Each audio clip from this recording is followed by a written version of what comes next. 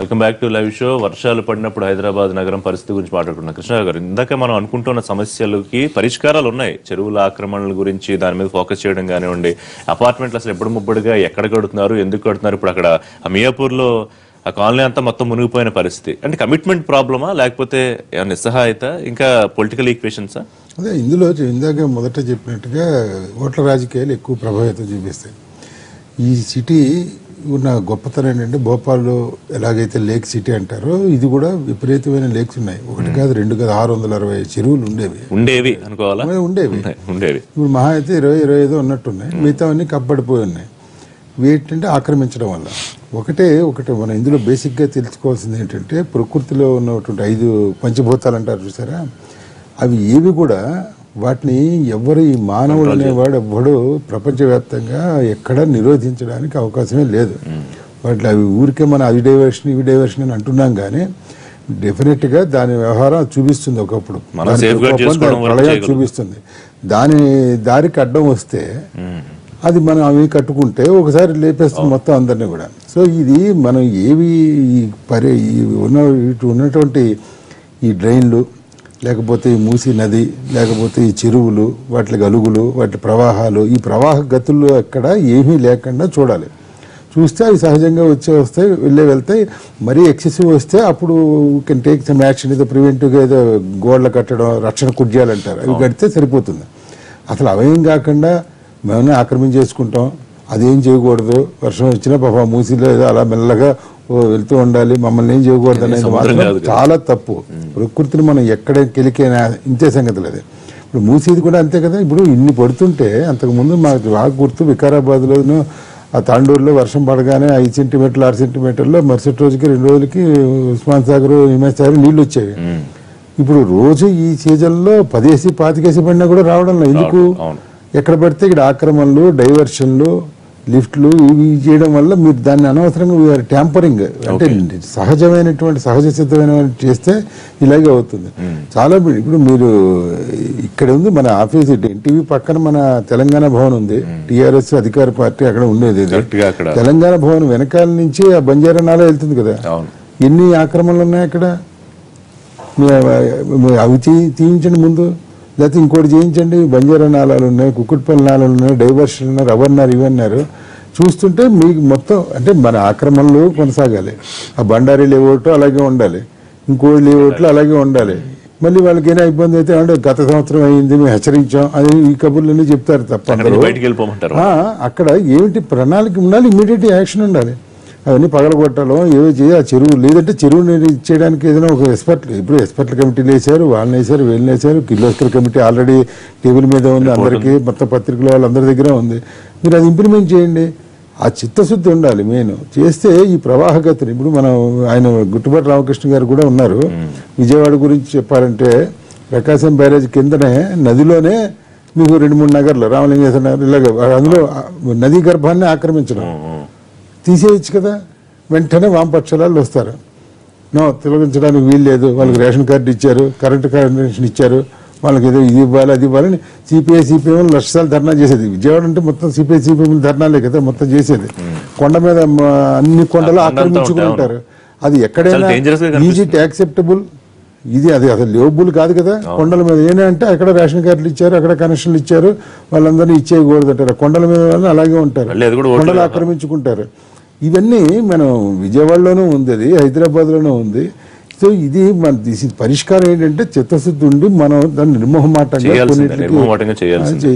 Right ఒకసారి హైదరాబాద్లో వర్ష ప్రభావానికి సంబంధించిన సింగిడిగుంట నాలా పొంగిపొర్లింది గుడిసెలను ముంచెత్తేసింది. వరదలో ఇరవై ఏడేళ్ళ యాదగిరి అనే వ్యక్తితో పాటు ఆరు నెలల జోసెఫ్ అనే చిన్నారి కొట్టుకుపోయి మృత్యువాత పడ్డారు. ఈ ఘటన స్థానికంగా విషాదం నింపింది. దీనికి సంబంధించి పూర్తి డీటెయిల్స్ ఒకసారి మా కరెస్పాండెంట్ దినకర్ వివరిస్తారు. దినకర్. హైదరాబాద్లో నిన్న సాయంత్రం నాలుగున్నర గంటల నుంచి కురుస్తున్నటువంటి భారీ వర్షాలకి దాదాపు మూడు జీవితాలు మట్టిపాలయ్యాయి. ప్రస్తుతం మనం సింగాడికుంటలో ఉన్నాం.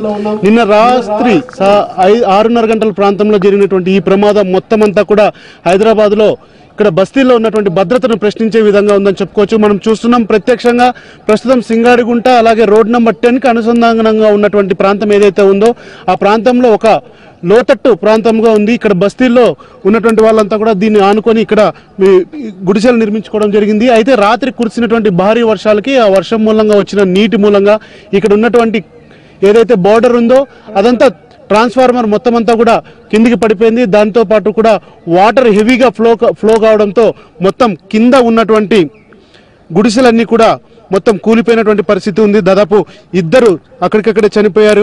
మట్టి పిల్లల్లో కూరుకుపోవడం మూలంగా వారి జీవితాలు మట్టిలో కలిసిపోయినటువంటి పరిస్థితి ఇక్కడ సింగాడుకుంటలో నెలకొంది. మనం చూస్తున్నాం ఈ విజువల్స్లో ఇటు వెళ్తున్నాం. రాత్రి ఈ ఇక్కడ ఉన్నటువంటి ఫ్లోలో మొత్తం అంతా వాటర్ రావడంతో హెవీగా అంటే స్థానికంగా ఉన్నవారు కూడా చెప్తున్నారు. ఒక తుఫాన్ వచ్చిన తర్వాత వచ్చే వర్షం ఎలా ఉంటుందో ఆ వర్షం మూలంగా వర్షం నీరు మూలంగా వరదలా పారి రావడంతో ఇక్కడంతా కూడా పూర్తిగా కొలాప్స్ అయిపోయిందని చెప్పి కూడా చెప్తున్నారు. మనం విజువల్స్లో చూస్తున్నాం. మన కెమెరామెన్ ప్రభాకర్ కూడా స్పష్టంగా చూపిస్తున్నటువంటి విజువల్స్ ఉన్నాయి. ఇక్కడ గుడిసెలన్నీ రాత్రి వచ్చినటువంటి భారీ వర్షపు నీరు మూలంగా కూడా ఇక్కడంతా ఇక్కడంతా కూడా నీ ఇక్కడ గుడిసెలు కూలిపోయినటువంటి పరిస్థితి ఉంది. స్థానికులు కూడా ఆవేదన వ్యక్తం చేస్తున్నటువంటి పరిస్థితి కూడా ఉంది. ఏమ్మా నిన్న సాయంత్రం ఏం జరిగింది? మీకు ఎలాంటి భయంగా ఉంది ఇక్కడ పరిస్థితి? చాలా భయంకరంగా వర్షం వచ్చింది సార్. పైనుంచి అంతా నీళ్ళు వచ్చినాయి. ఎక్కడోళ్ళం అక్కడ వెళ్ళిపోయినాము. బాబు బాబు వాళ్ళ తండ్రి ఇద్దరు ఆ మట్టిల్ని మొత్తం కూడిపోయిండ్రు. నైట్ నాలుగు నాలుగున్నర గంటల నుంచి బస్తీ వాళ్ళందరూ తీయడానికి ప్రయత్నించిర్రు. కొన్ని గంటలకేమో బాబుని తీసిండ్రు ఫస్ట్ తర్వాత తండ్రిని తీశారు. తీసి ఇంకా హాస్పిటల్ తీసుకెళ్ళిండ్రు. అప్పటి నుంచి మాకు ఉండడానికి కూడా ఏ చోటు లేదు. మా అంతం తినడానికి కూడా తిండి లేదు. వేసుకోనికి బట్టలు లేవు. మాకు అసలు ఏమీ లేకుండా పోయింది. మొత్తం వెళ్ళిపోయినాయి మా ఇండ్ల నుంచి. మాకు చాలా కష్టంగా ఉంది. మాకు ఆదుకోవాలని కోరుతున్నాం. ప్రతి నాయకుల నిర్లక్ష్యమే ఇంత పెద్ద ప్రమాదం తీసుకొచ్చింది సార్. ఇది అలా అనుకోకుండా జరిగింది కాదు. ఎన్నో సంవత్సరాల నుంచి ఉన్న ప్రాబ్లమే. ప్రతి సంవత్సరం ఇదే సిచ్యువేషన్ ఇదే ఇదే ప్రాణ నష్టం ఇడ. ఎవరు పట్టించుకోవట్లేదు. వస్తున్నారు చూస్తున్నారు వెళ్ళిపోతున్నారు. అంతే. ఈ ఒక్కసారికైనా దయచేసి ఇప్పుడు మాత్రం మటుకు అది ఏదో ఒకటి చేసేయాలి. అంటే ఇక్కడ మీకు అనుమతి ఉందా? నివసించడానికి పట్టాలు ఉన్నాయా మీకు? అసలు రేషన్ రేషన్ కార్డు కానీ ఆ తర్వాత అన్ని అన్ని ఉన్నాయి. పట్టా స్లిప్ కూడా ఇచ్చారు. పట్టా స్లిప్ ఇచ్చిండ్రు. కానీ ఈ ఏరియా పట్టాలు ఆపేసిండ్రు.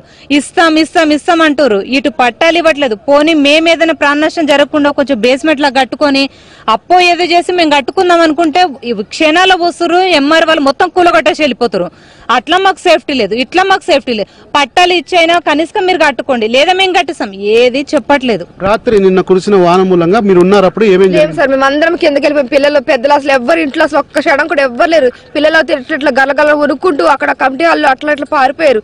ఈ దాటికి అసలు మేము అట్లా బతుకుతామని కూడా అనుకోలేదు అసలే. అంత భయంకరంగా వచ్చేస్తూ ఉంటుంటే ఎన్నోసార్లు మేము చెప్పాం సార్ మాకు కొంచెం ఇక్కడ సాయం చేయండి ఇక్కడ కొంచెం పైపు వేయండి చాలా టూ మచ్ ఉంది ఆ గోడ పడిపోతే పిల్లలు కూడా చాలా ప్రమాదం అని ఎన్నోసార్లు మేము చెప్పాం. కవిత మేడం వచ్చి వాళ్ళకు కూడా చెప్పింది బాబు ఇక్కడ పిల్లలకి ప్రమాదంగా ఉంది. కొంచెం దయచేసి మీరు అది తీసి పైపులు వేయండి. వాళ్ళకి సాయం చేయడం అన్నా కూడా వాళ్ళు కూడా ఏం లేదు సార్. మేము ఎవరిని మొత్తుకోవాలి? ఎవరి దగ్గర చెప్పుకోవాలి? ప్రతిసారి లీడర్ వెళ్ళటం మేము వెళ్ళటం కవిత మేడం రావటం ఇక్కడికి చెప్పటం అంతా జరిగింది. అయినా సరే ఎవరు పట్టించుకుంటే కదా? పట్టించుకుంటే అసలు జరిగేదే కాదు. ఇప్పుడైనా సరే వాళ్ళు దయచేసి కొంచెం చేసుకుని ఇప్పుడు చూడండి కరెంట్ కరెంట్ ఆ స్తంభం కూడా ఎంత డేంజర్ ఉందో వాళ్ళకి తెలియదా సార్ అది? మట్టి అంతా పోసేస్తారు. ఎన్ని సార్లు మొత్తుకుంటాం మేము? మట్టి ఎక్కడ తెచ్చి తీస్తాం? ఇంత మట్టి అంటే మేము పేదవాళ్ళము. చిన్న చిన్న గుడుసులు ఎంత మట్టి ఎక్కడ తీయగలదు మేము? ఇప్పుడు చూడండి ఇద్దరు మనుషులు ప్రాణాలు పోయినాయి. ఆడ మట్టి తీయలేక రాత్రి ఆరు గంటల నుంచి పదకొండు గంటల వరకు పాపం పోలీసు వాళ్ళు జిహెచ్ఎంసీ వాళ్ళు మనుషులు ఇక్కడ ఉన్న వాళ్ళు అందరూ తీసినా సరే బయటికి రాలేదు. ఎంత మట్టి వచ్చి ఉంటాయో మీరు చూడండి ఒకసారి. ఇదంతా కనిపిస్తుంది కదా? లో కూడా ఇక్కడ మొత్తం అంతా కూలిపోయినటువంటి పరిస్థితి ఉంది. సో స్థానికులంతా కూడా ఆవేదన వ్యక్తం చేస్తున్నారు. ప్రభుత్వ అధికారులు కూడా ఇక్కడ ఏదైతే ఉందో మొత్తం అంతా కూడా ఇక్కడ గుడిసెల్లో గుడిసెలన్నీ కూలిపోయినటువంటి పరిస్థితి ఉంది.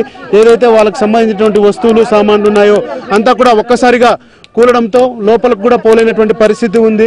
వాళ్ళకి సంబంధించినటువంటి రెగ్యులర్గా ఉపయోగపడేటువంటి ఏవైతే వస్తువులు ఉన్నాయో ఆ వస్తువులన్నీ కూడా లోపల కూలిపోవడంతో మొత్తం గుడిసంతా కూలిపోవడంతో ఈ పరిస్థితి నెలకొని ఉందని చెప్పొచ్చు. మనం కొద్దిగా ముందుకు వెళ్తాం. నిన్న రాత్రి జరిగినటువంటి ఘటన మూలంగా దాదాపు ఒక వికలాంగుడు ఆ వికలాంగుడితో పాటు వాళ్ళ కుమారుడు కూడా చనిపోయాడు.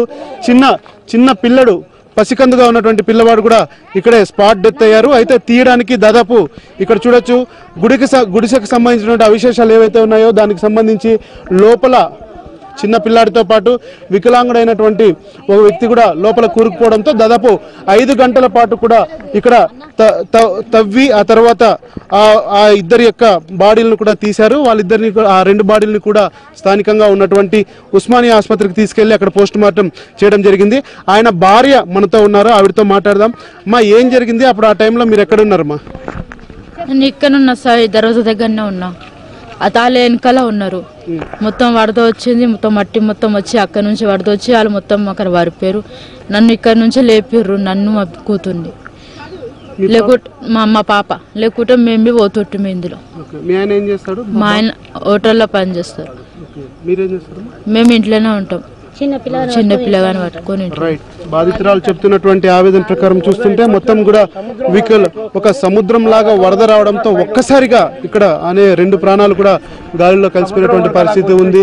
సో ఇక్కడ సింగాడికుంట కాదు హైదరాబాద్లో అనేకమైనటువంటి ప్రాంతాల్లో ఇలాంటి పరిస్థితులు ఉన్నాయి. దాదాపు లోతట్టు ప్రాంతాలు కావచ్చు అలాగే బస్తీలు ఎత్తున ఉన్నటువంటి ప్రాంతం మూలంగా అనేకమైనటువంటి బస్తీలు కూడా ఇక్కడ ఉన్నటువంటి పరిస్థితి ఉంది. అయితే భారీ వర్షం మరికొద్ది గంటల పాటు ఉంటుందని చెప్పి హైదరాబాద్ వాతావరణ శాఖ హెచ్చరికలు జారీ చేస్తున్న నేపథ్యంలో జనాలు కూడా అప్రమత్తంగా ఉండాలని జిహెచ్ఎంసీ చెబుతుంది. అయితే ఈ కూలినటువంటి జీవితాలకి మాత్రం జిహెచ్ఎంసీ నష్టపరిహారం చెల్లించింది. అయినా కానీ ఇక్కడ ఉన్నటువంటి సమస్యను పూర్తి స్థాయిలో పరిష్కరించిన తర్వాతే జిహెచ్ఎంసీ అధికారులు ఇక్కడికి రావాలని దీన్ని పరిష్కరించడానికి అన్ని పార్టీలకు సంబంధించిన నేతలు కూడా చర్యలు తీసుకోవాలని చెప్పి స్థానికంగా ఉన్నటువంటి వాళ్ళు డిమాండ్ చేస్తున్నారు. సందర్భంలో జిహెచ్ఎంసీ కమిషనర్ కూడా వేరే మాట్లాడుతూ ఆయన కూడా ఒక నిరాసక్త ఒక నిస్సహాయత వ్యక్తం చేసిన పరిస్థితి చూసాం.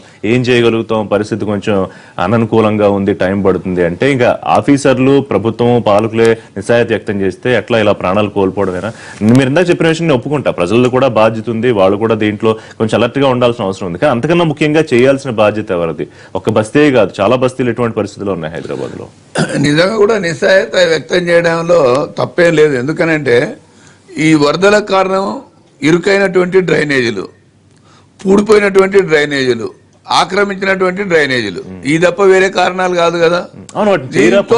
ఒక మాట. నేను అదే వస్తున్నా వస్తున్నా? వీటిని క్లియర్ చేయడానికి వెంటబడితే ఆ ఎంట మనకు ఇన్ఫ్లుయెన్స్ చేసే వాళ్ళు ఎవరు? రాజకీయాలు.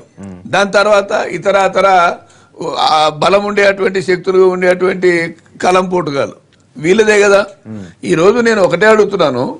ఏదన్నా ఒక మసీద్ పక్క నుంచి ఉన్నటువంటి డ్రైనేజ్ పూడిందంటే ఒక మతం వాళ్ళు వస్తారు ఏదన్నా ఒక గుడి పక్క నుంచి పూడిందంటే ఇంకో మతం వాళ్ళు వస్తారు ఇది కష్టం కాదు, ఇవి కాకుండా ఎందుకో నాకు- నిస్సహాయత కాదు, కాకుండా నాకు ఏమవుతుంది? సహేతుకమైన కారణాలుగా అనిపించట్లేదు?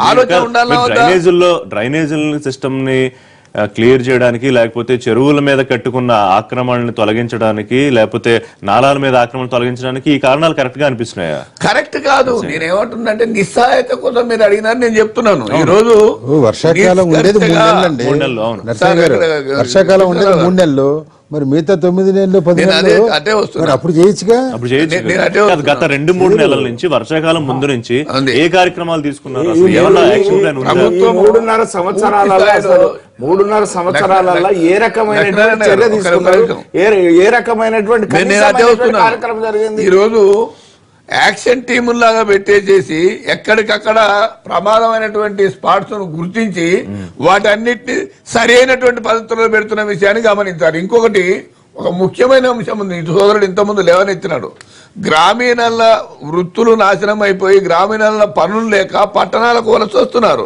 పట్టణాలకు వలస వచ్చిన తర్వాత వాడు ఎక్కడో ఒక దగ్గర బంజరాయిల్స్ అంటే ఉండలేడు కాబట్టి ఎక్కడో కుంటలనో పక్కనో చెరువుల్లో కుంట మీదనో ఉంటున్నాడు. దీనికి కారణం ఈ నాలుగు సంవత్సరాలు మూడు సంవత్సరాల టిఆర్ఎస్ పాలన కాదు కదా. అది ముందు నుంచి వచ్చింది. ఈరోజు గ్రామీణ వ్యవస్థ బలపడడం కోసం. వలసలు ఆగిపోవడం కోసం వృత్తి కులాలకు సంబంధించినటువంటి వెసులుబాటు ఆర్థిక పరిస్థితి ఏర్పడడం కోసం ప్రభుత్వం ఏర్పాటు చేసింది. అర్బనైజేషన్ తగ్గడం కోసం ఎక్కడికక్కడ గ్రామీణ ప్రాంతాలలో ఉండేటువంటి కార్యక్రమం మొదలు పెడుతుంది. మనం వీటన్నిటిని ఉత్తగా వన్ సైడెడ్గా పక్కకు నెట్టేయలేము. జరిగినటువంటి వరదకు ప్రభుత్వం ఖచ్చితంగా చర్యలు తీసుకుంటుంది తీసుకుంటది. కానీ పూర్తి బాధ్యత మాత్రం బాధ్యత తీసుకోవడానికి. బాధ్యత తీసుకోవడానికి బాధ్యతతో బాధ్యతాయుతంగా పనిచేస్తుంది. ఈరోజు కేటీఆర్ గారు చేస్తున్నటువంటి ప్రతి కార్యక్రమాన్ని మనం ఇక్కడి నుంచే ఒకసారి ఆ విశ్వనగరం లక్షల కోట్లు పెడతారు అని వెక్కిరించిన వాళ్ళదే కదా. అందుకోసమని ఖచ్చితంగా ఇప్పుడు ఈ రోజున్నటువంటి పరిస్థితులలో తెలంగాణలో హైదరాబాద్ విశ్వనగరంగా ఉంటది. ఒకసారి నేను మద్రాస్ మద్రాసు వెళ్ళి చూసిన వర్షాలు పడేటప్పుడు ఆ మద్రాసు పరిస్థితి మనం చూసినాం. బ్రిటిష్ వాడు పరిపాలన చేసినాడు. కలకత్తా వెళ్ళి చూసినాం. అది ప్రివెన్షియల్ సిటీ దాని కథ తెలిసింది. అన్నిటికంటే. ఖాయం ఇది. నరసింహయ్య గారు అంటే ఒక కమ్యూనిస్ట్ లీడర్గా కూడా బడుగు జ- జనాల కోసం కానీ బాగా ఇంతకుముందు అసెంబ్లీలో నేను వారితో పాటు సహచరులుగా ఉండేవాడిని. చాలా గట్టిగా పోరాడేవారు. ఆయన గలం వినిపించేవారు కూడా అనేక సమస్యల మీద. కానీ ఇప్పుడు అర్బనైజేషన్ మనం స్టాప్ చేద్దామంటే సార్ ఇది ఇది స్టాప్ అయ్యేది కాదు. ప్రపంచ దేశాలు ఎక్కడ చూసినా కూడా మనకు కూడా అర్బనైజేషన్. ఎందుకంటే రూరల్ ఏరియా నుంచి అనేక విధాలుగా జనాలు వస్తూ ఉన్నారు. ఆ రూరల్ ఏరియాలో ఉండేటువంటి జనాలు ముఖ్యంగా బీద జనాలు వాళ్ళందరికీ ఏమి ఇబ్బంది వస్తూ ఉంది? వాళ్ళకు నివాస స్థలాలు ఉండవు. ఎక్కడనంటే ఎక్కడ స్థలం దొరికితే అదంతా నాలా కానీ ఏదన్నా కానీ అది ఆక్రమించుకుంటారు. కానీ దీనికోసమే ఒక దీర్ఘకాలికమైనటువంటి ప్రణాళిక ఉండాలి. ఇప్పుడు టిఆర్ఎస్ ప్రభుత్వం లాంటి ఒక రీజనల్ పార్టీ ఒక పవర్ఫుల్ పార్టీ ఈ హైదరాబాద్ మీద ప్రత్యేకమైన దృష్టి పెడితే మనం రాజకీయాలను పక్కన పెట్టాలి ఇక్కడ. ఈ పార్టీ చేస్తుందా ఆ పార్టీ చేస్తుందా అనేది. ఇది ఒక లాంగ్ టర్మ్లో ఈ ప్రాజెక్ట్ ఇన్ఫ్లుయెన్సెస్ అని ఒక పదం చెప్పారు. అయినా కూడా ఇప్పుడు పొలిటికల్ ఇన్ఫ్లుయెన్స్ అయినా కూడా ఇప్పుడు రాజకీయ పార్టీ ఇప్పుడు ఎవరైనా అధికారంలో ఉండేవాళ్ళు అపోజిషన్లో ఎక్కడంటే అక్కడ లోపల పడేస్తుంటారు. ఇప్పుడు ఏం దానికోసము వాళ్ళకు నచ్చకపోతే మేము. చిన్న యాజిటేషన్ చేసిన తీసుకుపోయి పోలీస్ స్టేషన్లు వేస్తున్నారు. ఆంధ్రప్రదేశ్లో అదే జరుగుతా ఉంది ఇక్కడ కూడా అదే జరుగుతా ఉంది. కానీ నేనేమంటానంటే వాళ్ళకు దీర్ఘకాలికంగా వాళ్ళని ఎక్కడ ఫర్ ఎగ్జాంపుల్ మనము పెద్ద ఏరియా ఉంది అక్కడ అపార్ట్మెంట్లు కట్టొచ్చు పేదల కోసం. ఓకే. ఇప్పుడు స్లమ్స్ ఆ విధంగా ఇంకా డెవ- ఉండేదానికంటే కూడా మనం దీర్ఘకాలికంగా ఆలోచన చేసి అందరం కూడా నివాసయోగ్యంగా బ్రతకడానికి మంచి గాలి స్వచ్ఛమైనటువంటి గాలి స్వచ్ఛమైనటువంటి ఒక నీరు. పక్కన ఆ కార్యక్రమాలు కూడా ఇప్పుడు లక్షల్లో ఇల్లు కడతా ఉంటున్నారు. నేను ఆంధ్రప్రదేశ్లో కానివ్వండి ఇక్కడ ఇక్కడ డబుల్ బెడ్రూమ్ పథకాలు కానివ్వండి కేంద్రం స్కీములు కానీ ఆ పక్కన ఆ మాటలు కూడా వింటూ అలా కాదు ఋషి గారు ఇక్కడ చాలా సింపుల్ సార్. వీళ్ళకు మీరు లక్షల లక్షలు ఎవరు కడతారు ఎందుకు కడతారు ఎక్కడి నుంచి డబ్బు తెస్తారు? ఎక్కడ సార్ ఇన్ని పదిహేడు లక్షలు- లక్షలు ఇల్లు కడతాం నేను చంద్రబాబు ఆ, నాయుడు అవి- అవి అన్నీ సరే. వీళ్ళు వచ్చే వాళ్ళ కుంటల గింటల దగ్గర ఉంటే కుంటలు తీసి వీళ్ళకి అరవై గజాలు తొంభై గజాలు ఇవ్వడానికి గవర్నమెంట్ దగ్గర ఉంది కదా. అవును చాలా రెగ్యులరైజేషన్ ఆఫ్ అన్అబ్జెక్షనబుల్ పట్టా ల్యాండ్స్ అని చాలా స్పష్టంగా ఉంది. ఎంక్రోచ్మెంట్స్ అన్అబ్జెక్షనబుల్ ఎంక్రోచ్మెంట్స్ అని. వీళ్ళు ఫలానా చోట ఇక్కడ వద్దురా బాబు ఇక్కడ నీళ్ళు వస్తాయి అక్కడ తీసుకోండి అక్కడ ఆక్రమించుకోండి పోనీ అక్కడ అక్కడ రెగ్యులర్ చేయొచ్చు కదా. అక్కడ వెళ్ళటచ్చు కదా వెళ్ళన్నాను ఆ ఆ ప్రచారం అసలు ఆ- అసలు ఆలోచించకుండా యాంగిల్ ఆలోచించట్లేదు అనుకుంటా. సింగడుకుంటే ఇప్పుడు మనం చూసాం అదే నాలా అది మీరు ఆ చెరువు కింద ఉండేది అది. మీరు అక్కడ ఉండడానికే లేదు. వాళ్ళందరూ తరలించండి. వేరే చోట పెట్టండి. మీరు మళ్ళీ బిల్డింగ్ కట్టక్కర్లా. వాళ్ళకి మీరు స్థలం ఇస్తే వాళ్ళకి వాళ్ళ కృష్ణారావు గారికి తెలుసు మనం రాజశేఖర రెడ్డి గారి కాలంలో మొత్తం పేదల కోసం అని చెప్పేసి చాలా అవుట్స్కట్స్లో కట్టించినారు. అయ్యా మాకు వచ్చేది వంద రూపాయలు ఇరవై రూపాయలు ఖర్చు అవుతుంది కదా ట్రాన్స్పోర్టేషన్ అని చెప్పేసి ఆడు ఫోన్ కూడా పోలేదు. ఆక్పై కూడా చేయలేదు. కొన్ని పేదలకు ఉండే చేసి- ఇబ్బందులు, చేసి ఉన్నాయి. ఈ ఎంకరేజ్ సేఫ్ ప్లేసెస్ అంటున్నారు అప్పుడు అది కాదు. అప్పుడు ఏం జరిగింది అనేటువంటిది అప్పుడు నిర్లక్ష్యం జరిగింది. సంవత్సరాల. కాలంలో మీరు ఏం నిర్లక్ష్యం అనేటువంటిది ఇవాళ కేంద్ర కేంద్ర ప్రభుత్వం కేంద్ర ప్రభుత్వం. పద్దెనిమిది ఒక టైం బాండ్ ప్రోగ్రామ్ ప్రోగ్రామ్గా చాలా అంశాలు తీసుకుంటుంది ఏదైతే కరెంట్ విషయంలో ఈ దేశంలో ఇప్పటివరకు కరెంట్ రానటువంటి వాళ్ళ కుటుంబాలకు ఏ రకంగా కరెంట్ కనెక్షన్ ఇవ్వడం అనేటువంటిది ఈ ఈలోగా చేస్తాం అనేటువంటిది అదే రకంగా కరెంటు లేని గ్రామాలకు కరెంటు ఈ రకంగా ఇల్లు లేనటువంటి వాళ్ళకు రెండు వేల ఇరవై రెండు వరకు. నేను ఎందుకు ఎందుకు నేను ఎందుకు అది కూడా చెప్తున్నా గొప్ప కాదు. అంటే, ఇప్పుడు మీరు ఇప్పుడు 2017 మీరు- మీరు మీరు ఈ టైం లోపల. పూర్తి అది కూడా ఏం చేస్తాం. పూర్తి ఈ. టైం లోపల దీన్ని దీన్ని పూర్తి చేస్తాం సమగ్రంగా కంప్లీట్. చేస్తామని చెప్పండి. ఆరు మూడున్నర సంవత్సరాల కాలంలో ఆ అడుగులు ఏమన్నా పడ్డాయా అసలు ఒక్క నాల ఇవాళ వర్షం. వచ్చినప్పుడు కాదు వర్షం రానప్పుడే అండర్ గ్రౌండ్ డ్రైనేజ్ అమలు ఓవర్ఫ్లో అయిపోయి? ఖాళీలు రామకృష్ణ గారు. చెప్పండి. రామకృష్ణ గారు సార్ అంటే ఇప్పుడు ఇక్కడ హైదరాబాద్లో ఎటువంటి పరిస్థితి మనం వాళ్ళు చూస్తున్నాము ఇబ్బందికర పరిస్థితులు రేపు విజయవాడ ఇప్పటికే కొంత మొత్తం ఇందాక కృష్ణారావు గారు చెప్పినట్టు కొండల మీద అసలు లేని చోట్ల వాళ్ళు. కట్టుకున్నారు. తర్వాత కింద కూడా అటువంటి పరిస్థితి ఉంది ఆ బ్యారేజ్ దగ్గర కూడా. మరి దీని మీద దృష్టి పెట్టాల్సిన అవసరం కనిపిస్తుంది. లేకపోతే మళ్ళీ అక్కడ కూడా ప్రమాదకరమైన పరిస్థితులు వస్తాయి. ఖచ్చితంగా సార్. ఎందుకంటే ఇప్పుడు కింద ఒకసారి రోసయ్య గారు ముఖ్యమంత్రిగా ఉన్నప్పుడు కూడా మనం చూసాం ఇక్కడ ఇబ్బంది. అంటే వాటర్ ఫ్లో అయ్యి సముద్రంలోకి వెళ్ళడానికి ఉన్నటువంటి లేదంటే ఆ కింద ఉన్నటువంటి వాళ్ళు ఇదంతా కూడా అందుకని ఇప్పుడు నిన్న ఒక్క రోజే దేశ చరిత్రలో లేని ఎక్కడ లేని విధంగా ఈ రాష్ట్రంలో లక్ష ఇల్లు పైన లక్ష ఎనిమిది వేల ఇల్లు సుమారుగా గృహప్రవేశాలు చేపించడం జరిగింది. దీనిలో సార్ మేమందరికీ కూడా అందుకనే పెద్ద పెద్ద ఎత్తున తీసుకుని స్కీమ్స్ ఇంప్లిమెంట్ చేయడం కూడా జరుగుతూ ఉంటుంది. ఎప్పుడైనా సరే కాలనీ ఏదైనా కానీ ఇప్పుడు ఈ నాళాలను కానివ్వండి లేదంటే ఈ కా- కాలువలను ప్రధాన కాలువలను కానీ పూడికలు తీసే పరిస్థితి లేకుండా వాటిని ఆక్యుపై చేస్తే ఎప్పుడైనా కానీ పైన ఉన్నటువంటి నగరాలు కావచ్చు విలేజెస్ కావచ్చు అవే కదండి మునిగేటువంటి పరిస్థితి వస్తుంది కాబట్టి అది యాక్షన్ తీసుకోవాల్సినటువంటి అవసరం ఉంటుంది. సరే అయితే సరైన పునరావాసాలు కల్పించాల్సినటువంటి బాధ్యత ఉంటుంది కాబట్టి దాన్ని కూడా మేము తీసుకున్నాం. అమరావతి ఎందుకని చెప్పానే ఇప్పుడు కొండవీటి వాగు గతంలో వస్తుంది అని చెప్పానంటేనే దానికి సంబంధించి ఆల్రెడీ ప్రాజెక్ట్స్ నిర్మాణం చేయడం కూడా జరుగుతా ఉంది సార్ అది.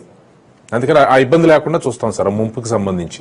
రైట్ నరసింహ గారు ఇప్పటికైనా ఒక స్ట్రిక్ట్గా ఒక యాక్షన్ ప్లాన్తో ముందుకెళ్ళే అవకాశం ఉందా? అంటే కార్యక్రమాలు మొదలు పెట్టారు ఇప్పుడు అక్రమ ఆక్రమణ తొలగిస్తాము. నాలుగైదు రోజులు బాగానే జరిగింది. తర్వాత ఆగిపోయింది. తర్వాత నాలాల మీద నాలాల మీద కట్టిన వాటి గురించి కూడా ప్రోగ్రామ్ చేశారు. తర్వాత పూడిక తేదీ గురించి కూడా ప్రోగ్రామ్ మొదలు పెట్టారు అన్ని ఆగిపోయాయి. ఎందుకు ప్రారంభించి ఆగిపోతున్న పరిస్థితి? ఇప్పటి నుంచన్నా జరిగే అవకాశం ఉందా? మళ్ళీ వర్షాకాలానికి మనం ఇటువంటి చర్చలు పెట్టుకునే అవకాశం లేకుండా జరిగే పరిస్థితి ఉంటుందా? దీర్ఘకాలిక విజయంతో హైదరాబాదు నాలాల ద్వారానో వరదల ద్వారానో చిక్కుకోకుండా చేయాల్సిన బాధ్యత ప్రభుత్వం మీద ఉంది. కేసీఆర్ గారు ఆ తలంపుతో ఉన్నాడు. ఆ రకమైనటువంటి పద్ధతిలో నేను ఒక్కటే ఒకటి గమనించాలి. నేను అనేది ఏమంటే ఏది ఏమైనా మనము మీకు తెలుసు చంద్రబాబు నాయుడు ముఖ్యమంత్రి గారు ట్యాంక్ బండ్ దగ్గర ఉన్నటువంటి నాలాలు పూడి మొత్తం హోటల్స్తో సహా ఇళ్ళతో సహా ఆఖరికి మన సుందరయ్య గారి గుణపాఠంగా. తీసుకున్నాడు చంద్రబాబు నాయుడు గారు. కొంత చేసి సరి చేసుకుంటూ వచ్చారు. ఇప్పటికి వచ్చే వరకు మన రాష్ట్రం మనకు వచ్చింది.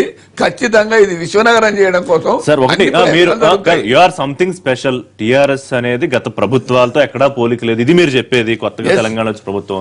యాక్షన్ కూడా అదే స్థాయిలో ఉండాలి కదా. నూటికి నూరు పర్సెంట్ ఉండబోతుంది ఎందుకంటే We'll see, ప్రతి. మ్యాన్ పవర్తో జరిగే పని తర్వాత- జరిగే పని ఆటంకాలు లేకుండా చేయాల్సినటువంటి మేము అదే చెప్తున్నాం. ఈయన అడ్డం వస్తాడు మసీదు కూడా కొడితే ఆయన అడ్డం వస్తాడు ఆడ ఉన్న మిషన్ తెగలబెట్టి ఎక్కడ ఎవరు ఏది? సరే దేశవ్యాప్తంగా హైదరాబాద్ దేశవ్యాప్తంగా ఉన్న వ్యవహారం లేదు. షుడ్ బి కోఆపరేట్ రేపు చూద్దాం హోప్ సో మీరన్నట్టుగా అటువంటి చర్యలు జరిగితే నగర జీవి గొప్ప విశ్వనగరం కాకపోయినా కనీసం సుఖ జీవితం అనుభవిస్తాడు. ఇక్కడ మామూలుగా రోజు సగటు జీవితం అనుభవిస్తాడు. రోజువారీ దినచర్యల్లో కూడా ఎక్కడ ఇబ్బందులు లేకుండా అలా జరగాలని కోరుకుందాం. థ్యాంక్ యూ వెరీ మచ్ అండి. థ్యాంక్ యూ రామకృష్ణ గారు లైవ్లో అందుబాటులోకి వచ్చినందుకు రేపటి లైవ్ షోలో మళ్ళీ